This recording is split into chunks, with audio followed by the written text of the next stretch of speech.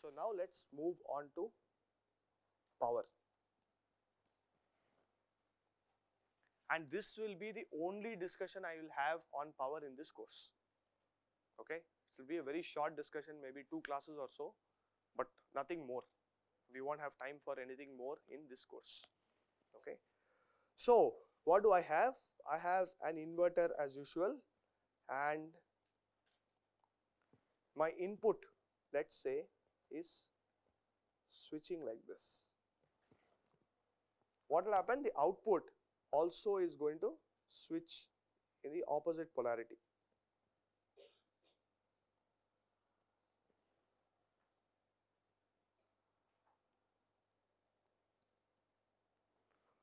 Right?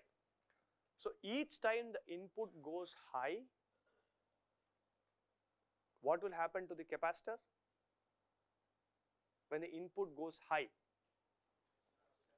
capacitor discharges and each time the input falls, the capacitor charges.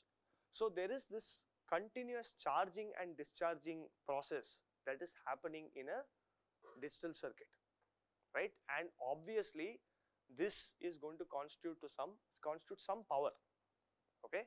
So, we need to now quantify how much of this power is or how much this energy is, okay?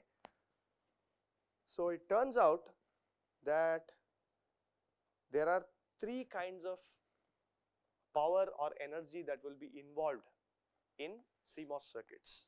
One is dynamic power. Dynamic power is just what I told you, input is switching, output is switching which means the capacitor is continuously charging or discharging, right and this is leading to some power loss, okay. So, it is purely this capacitor charging discharging power that we are talking about when we talk about dynamic power. Second is switching power right or I do not know what that I forget what the other term is or it is called short circuit power.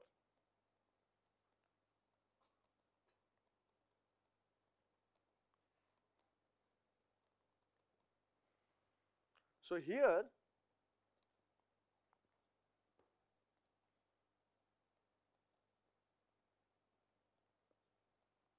V in, V out, my input is rising like this, my output will therefore fall like this. At some point of this transition between 0 and VDD for both input and output, my NMOS and PMOS will start conducting, right. So, clearly as soon as my input crosses VTN, it is going to both transistors will start conducting some current. That will peak when both of them go into saturation and after VDD plus VTP, both of them will shut off again, right.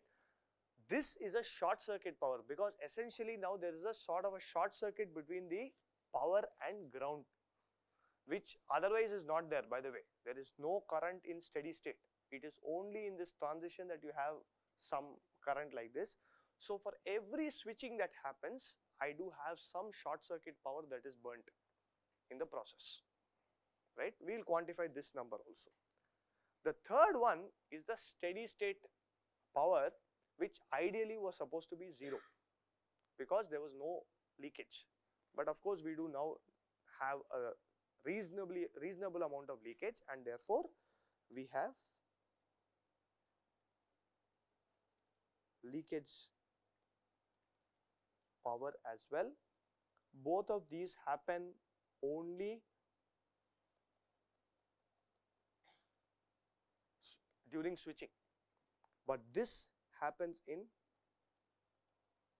steady state.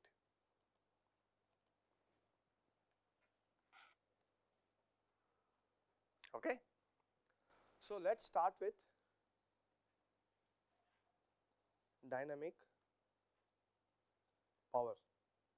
Okay. So, we will start with actually energy first.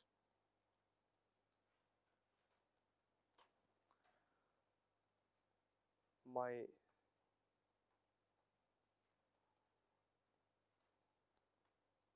let us assume my, my capacitor is now being charged. Initially it was discharged to ground.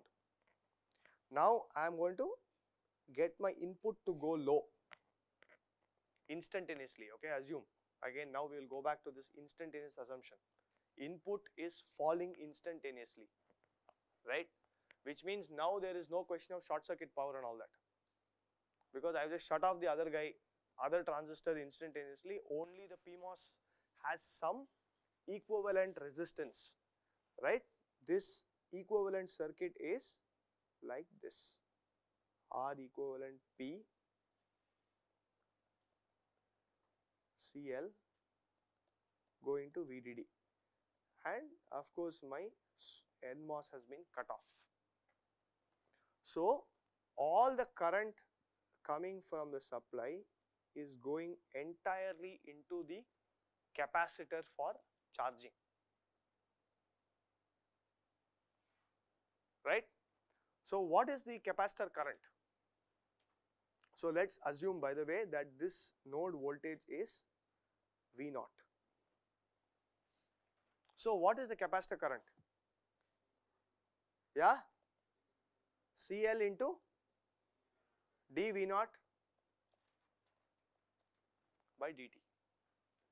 Okay. Now, of course, the same current is being drawn from the power supply also, correct. So, how much of power, how much of energy is actually delivered by the power supply first of all? V into I integrated over time, right. So, the energy from supply EVDD is integral P supply of T into I of T dt from 0 to infinity actually, how much ever time it takes. What is V supply of T?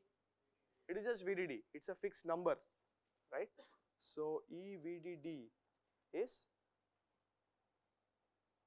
uh, VDD into what is the current? CL dV naught by dt into dt. So, I will just switch the variable of integration V naught is going from 0 to VDD. Therefore, the net energy that is delivered by the power supply in this charging process is CL into VDD square. Is this energy completely lost? Yeah, so half we will come to, but clearly some of the energy is actually stored in the capacitor because now the capacitor is charged to VDD, right. So, what about the energy in the capacitor, right. Again we can do the same thing, V naught into I of t into dt, right. So, this is basically 0 to VDD V naught into CL dV naught, right. This is half CL VDD square. Of course, half C VDD squared is the energy stored in the capacitor, right. Nothing surprising about this. So, the remaining half C VDD squared, where did it go? It dissipated in the PMOS resistance as heat and is lost right. So, for every switching, for every charging, half CL VDD squared is dissipated in the PMOS transistor.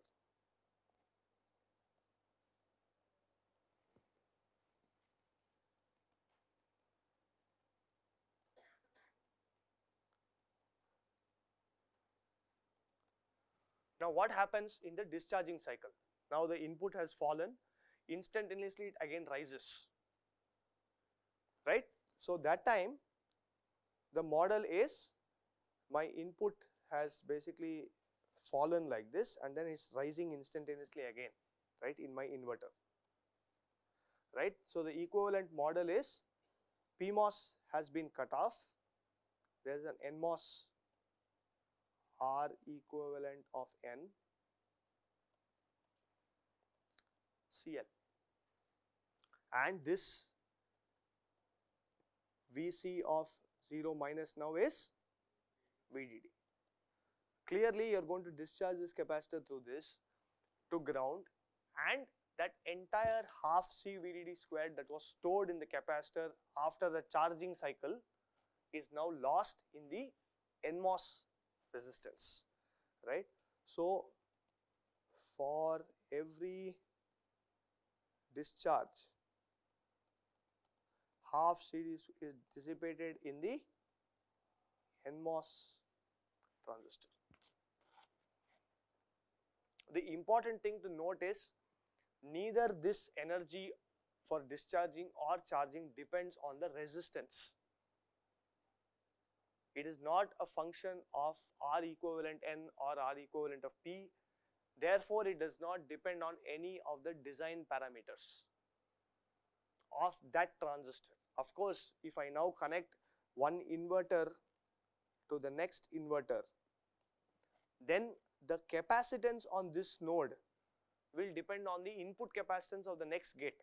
So, there yes it does depend on the width of the next transistor, but not on the width of itself. Okay. So, this is totally independent of any design parameter of the transistor here, of the inverter here. Yes.